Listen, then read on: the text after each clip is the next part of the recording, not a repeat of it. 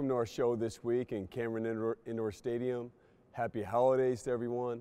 And, uh, you know, part of the holidays is the, the bowl season in college football. And uh, lucky to have a special guest, Coach Mike Elko. Congratulations on the Military Bowl and uh, having a special season this year. And uh, we'll be tuned in as a team. We'll be practicing that morning, and they'll be coming over to the house and uh, 2 o'clock against UCF on the 28th. So, uh, congratulations, and how are you doing? Uh, crazy, crazy. I feel like uh, it was about a year ago I got introduced in this building, and uh, uh, what's happened in a year has been just a whirlwind. I mean, it's absolutely insanity, but obviously getting settled in and uh, having a lot of fun and getting to take in some basketball games every now and again, which is good. But uh, you know the deal. You've been going through it too, I'm sure.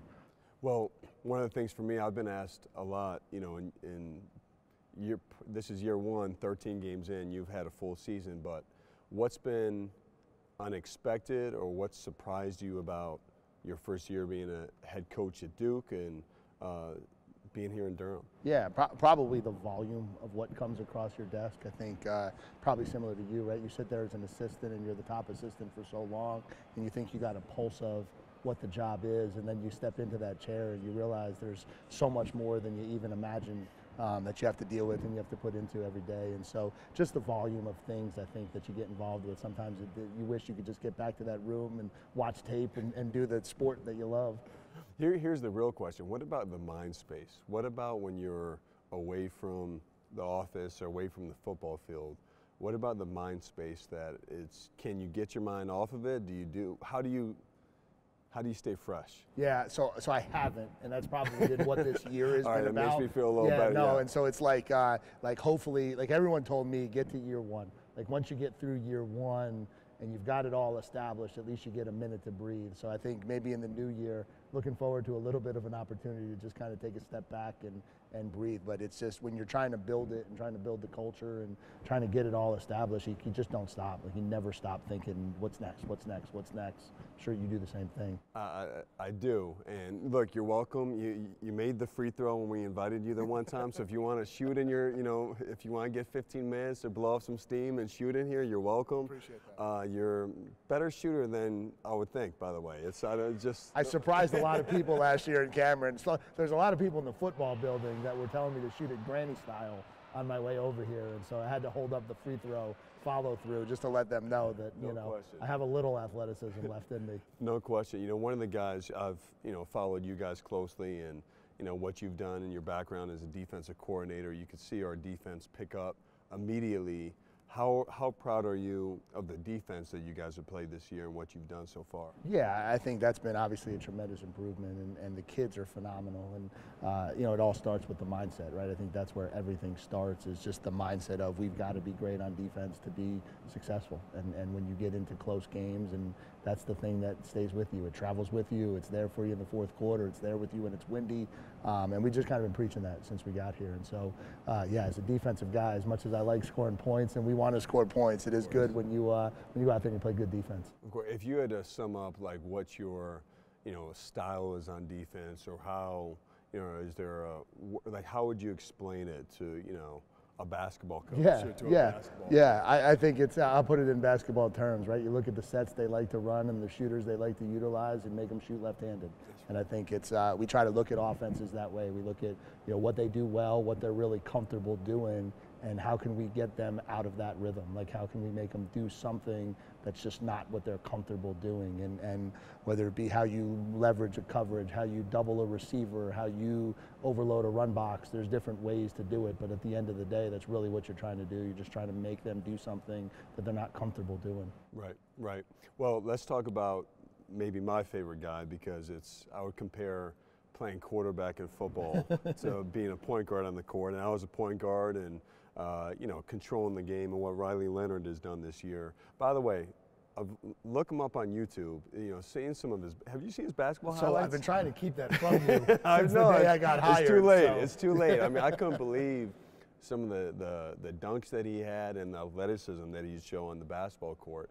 Uh, but talk about his season that he's had for you on the on the football field. Yeah, I mean, he's been phenomenal. And, and I think that's the one thing we learned real quick was one, how competitive he was, and then two, how athletic he was. And, you know, we had the quarterback battle going on, and I think everybody kind of boxed him into the, oh, well, he must be the pocket passer.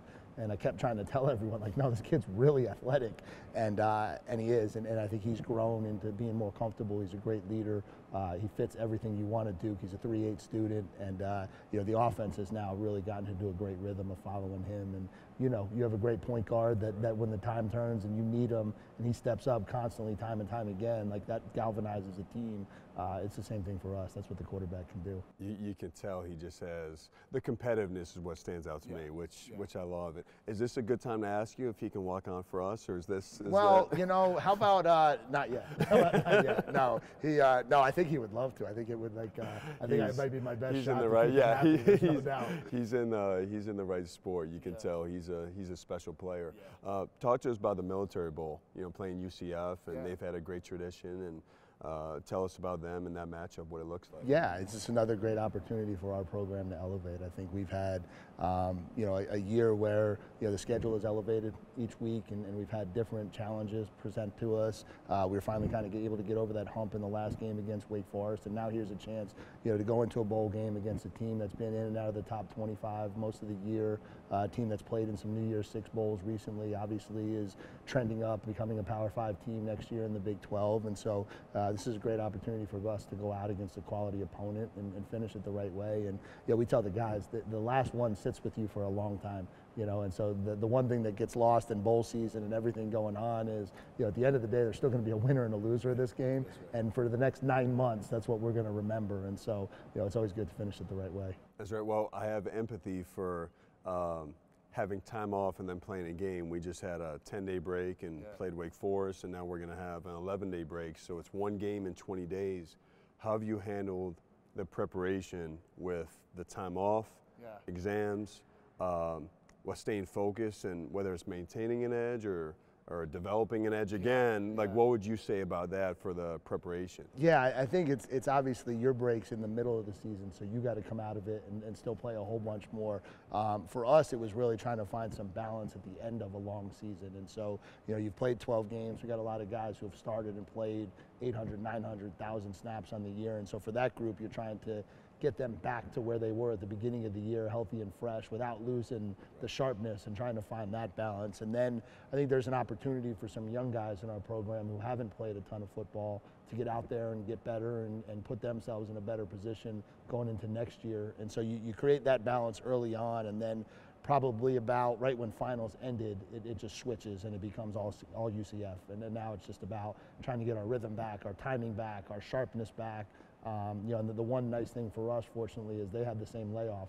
Um, with the basketball schedule, sometimes you guys don't get the same. You know, you're, you're jumping in playing teams that played three days ago. That makes a, that makes a big difference. No, there, there's no question about it. But you know, for for me, it's been an honor to start my career at the same time as yours. And you know, you've what you guys have done. You've really set the tone, and for representing Duke and you know, football and basketball teams, we've been hand in hand, and uh, let's all support him and the team for uh, on December 28th. We'll be there as a team. We'll be at my house and. Uh, hopefully after good practice, by the way. We want to have a good Yeah, practice it'll first. be a little bit we'll- harder. well, yeah, It's exactly. be a little harder for you if they don't practice well. exactly, but I'll, I'll be there either way, supporting, and uh, uh, cannot be more excited for you guys. And congrats again, and thanks for joining us. Yeah, I appreciate it. And likewise, Jon, it's been a lot of fun getting to know you and watching this thing, and uh, let's walk through this thing together. Let's do it. That's right. great. All Access is brought to you by Gatorade and our commitment to fuel tomorrow. By Continental Tire, the smart choice in tires. And by Coke Zero Sugar. With zero sugar and refreshingly delicious, is Coca Cola Zero Sugar the best Coke ever? Find out for yourself.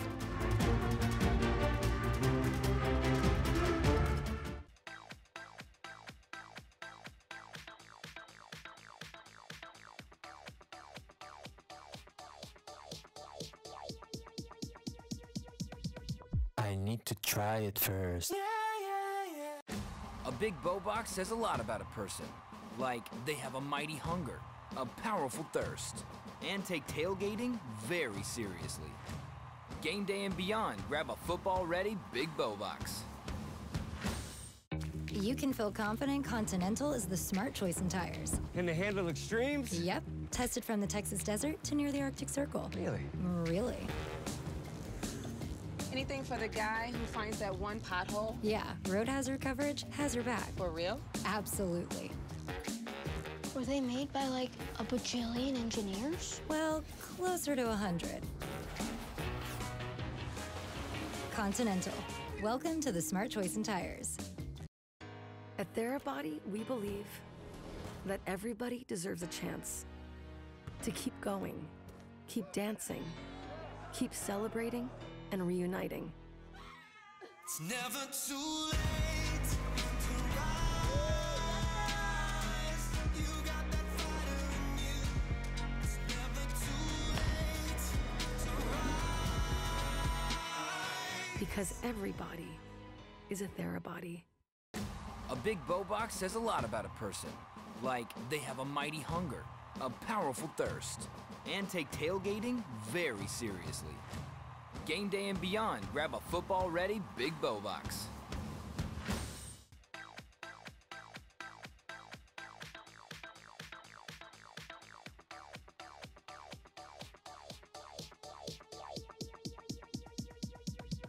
I need to try it first.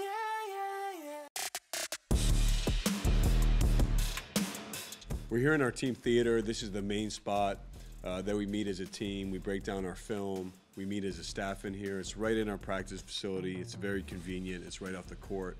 And we spend a lot of time in here breaking down the initial part of our season, the first uh, you know month and a half of, of games, and really proud of what we've done. But there's a lot of areas that we want to address to improve. And as we look back, you look at statistics and you, you think analytically, what can you do better? But also, uh, you have to take it all with a grain of salt because of our group. We haven't had a chance to be together. And so this time, the practice time is just as important as watching the film, breaking down what we haven't done well, and breaking down what we have done well. So understanding we've got a long way to go. We need to take the positives and build on them, and also understand we need to do some things better. Drops it back out for Clintman. Matched up with his old high school teammate. And Clintman lost it with good hands from Blakes. Ahead of the pack. Up top. Blakes has really been a boost for Duke coming off the bench. It's loose. Filipowski has it. Blake's headed the other way to punch it down with the right hand. Defense to offense. our defense has been the key to our success so far, and uh, we've done a really good job of protecting our paint.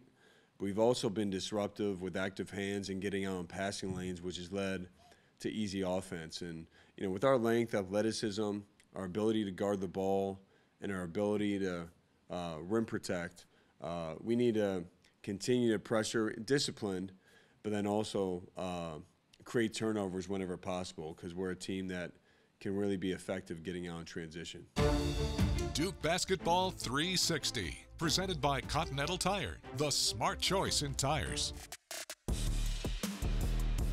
For us, one of the things, Mark Mitchell, his ball pressure, Jaylen, his ball pressure, and turning defense to offense is huge for us. The pressure, again, the anticipation off the ball, something we talk about a lot. The anticipation, the activity, the awareness, the triple A's, and uh, Jeremy really embodied the triple A right there with the uh, steal and the finish. Flip, his defense in the post has gotten a lot better from the summertime. He's knowing how to use his length and really walling up and, and, and playing without fouling. And then Ryan just knowing how to protect the rim. And I love the effort all the way through the possession to the rebound. That's great collective defense. And that's what our team has been doing all around. You watch Jacob Grandison here having the discipline to make sure he gets back and still contest the shot. Transition defense, that's been a huge point of emphasis for us. And again, the anticipation by Flip and the three point play in the finish. if we can get as a team just that the again Ryan Ryan Young diving on the floor for the loose ball and turning into easy baskets. We've been a great transition team. We just need to do it more. I love love the intensity, love valuing the ball and going for the play. Flip again his anticipation. And then when we get it like this, making easy plays. And Jaylen's had great assist to turnover ratio and just him having poise, he gets Jeremy that open three. One of the things we've talked about when a guy picks up his dribble to get in the passing lane. And that's what Mark did right there. It's a great play. Flip again with the body up. And then Tyrese with a really crafty finish. Getting in the passing lanes is something we've always done and we need to continue to do. Flip has great, he has not just anticipation, he has great feel on defense off the ball. And then Ryan playing cat and mouse with the big and the guard. And when we protect our rim and block shots, it's going to lead to early offense. And I love the huddle afterwards, the communication, the, the togetherness, and being excited for each other. That's what it's all about. Tyrese cracking down on the weak side, passing ahead, and again, leading an easy basket for Jeremy. And look at look at the roaches, They're giving it up, showing showing the, the enthusiasm. You gotta love it.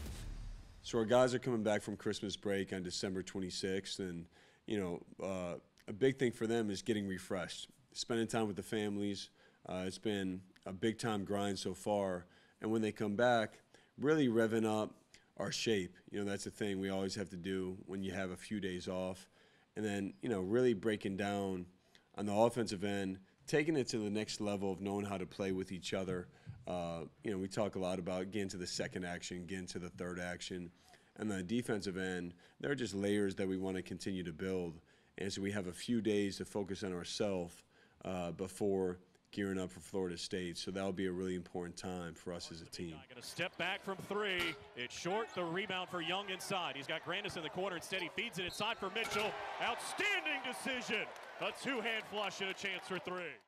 I know the car accident wasn't technically your fault. But we, as the insurance company, deny this claim. We might fix your car. But medical bills? Pain and suffering? Lost wages? You're asking for a lot. Oh. You've got a lawyer. This conversation is over. Tell the insurance company you mean business. Call on the Hurt Line, the law offices of James Scott Farrin, right now. People have trusted Reed's Jewelers with their life's moments since 1946. That's because we're family owned. We treat everyone who walks through our doors or visits our website as a part of our family. We have a beautiful selection of jewelry and watches for any occasion. We offer free shipping and returns, as well as multiple payment options to make sure you find the perfect gift. See why people have trusted Reed's Jewelers to celebrate their life's moments for over 75 years. This holiday season, Ford wants to help you shine bright. Come in now and choose from a great selection of new Ford trucks and SUVs in stock and ready for delivery. Or place a custom order on select vehicles, lock in your rate, and you're protected. Plus, new inventory is arriving daily, so you can drive one home for the holidays. Lock in this low rate plus make no payments for up to 90 days on a new 2022 Ford F-150. Choose from 6,000 trucks and SUVs. Only at your Carolina Ford dealer.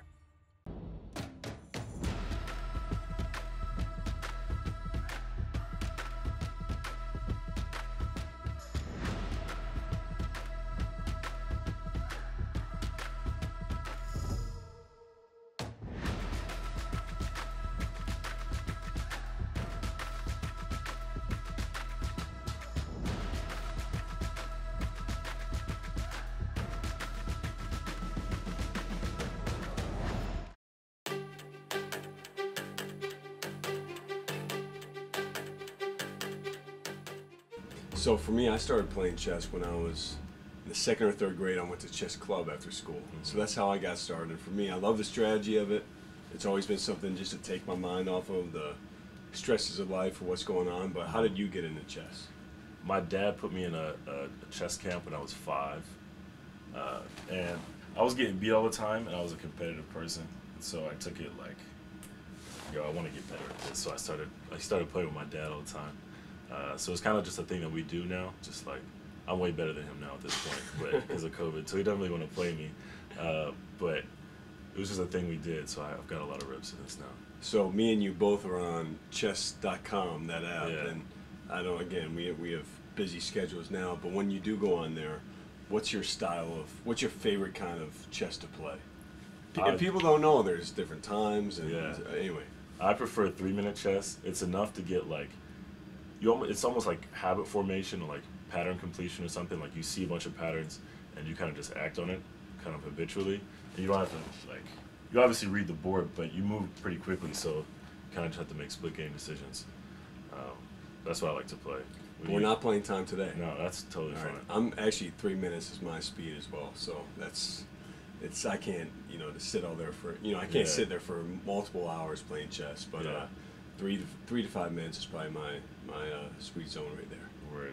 You trying to play just one game or best of five or? We're gonna play one game and see how it goes, and then depending on how that game goes, Yeah. we may play more. How about Alright. that? All right. Sounds good to me. We're gonna start.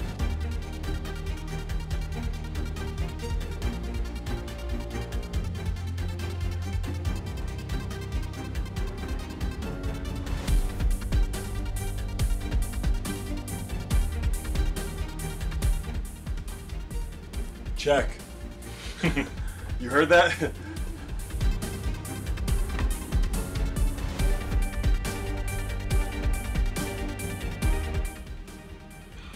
gonna hurt you. Check. That's not good. I want that queen.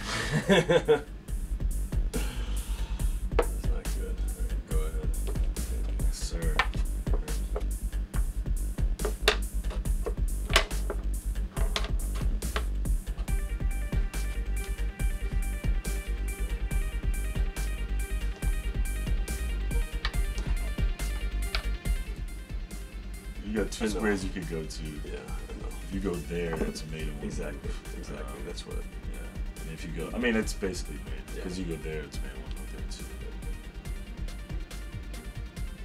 I got. I gotta play it out one more. Take your pick. It's done either way.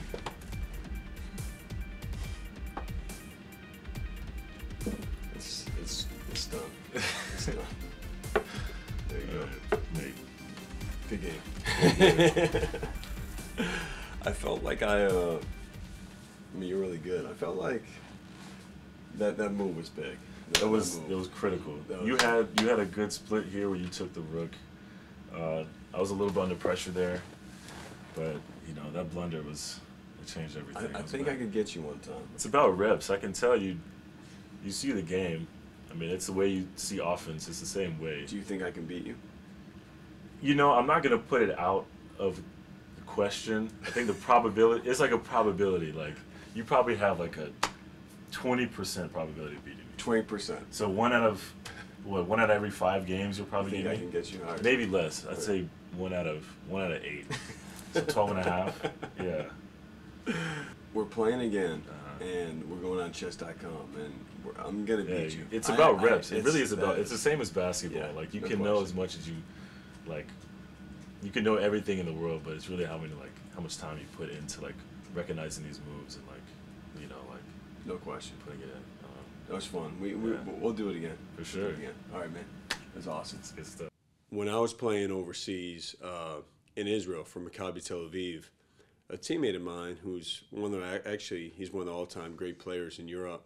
Uh, Sofo Schortsanitis is his name, and Sofo was on uh, the the Greece national team for a long time. And when he was real young, he actually had a future career of being a chess player.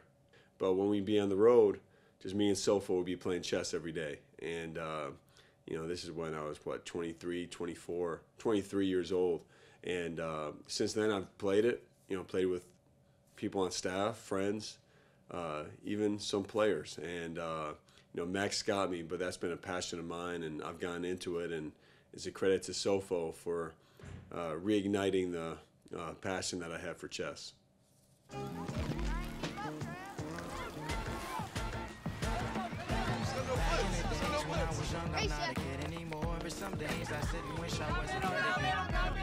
Gatorade, bro. Yes, sir, Punch. I remember way back. Back in the days when I was young, I'm not a kid anymore. Oh, Start playing and never stop playing. You get the most from the game when you're having fun. I remember way back when. You can feel confident Continental is the smart choice in tires. Can they handle extremes? Yep. Tested from the Texas desert to near the Arctic Circle. Really? Really.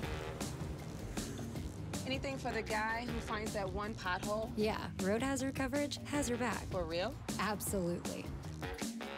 Were they made by like a bajillion engineers? Well, closer to a hundred. Continental. Welcome to the smart choice in tires.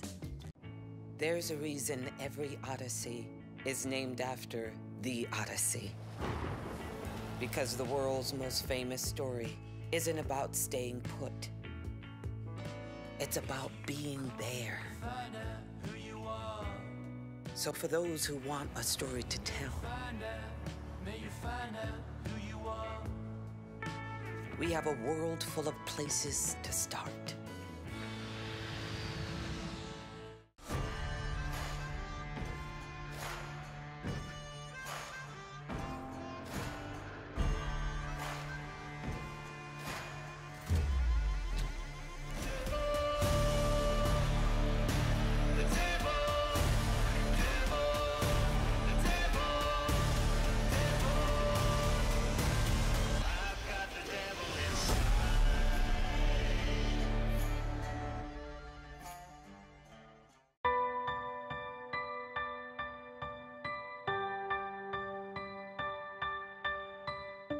Well, I want to wish everyone a happy holiday season, and it's a time to be with family. And you know, with our Duke family, we've lost three incredible people: and Greg Dale, Dan Colella, Elizabeth Beganet, and you know, really sending our love from our program to each one of them and their families, and uh, really wish all of you the best. Merry Christmas, happy holiday season and uh, let's count our blessings and be thankful to have each other and really move forward and carry on the tradition that each each of the three of them have laid for all laid out for all of us. So our love to you all and happy holiday season.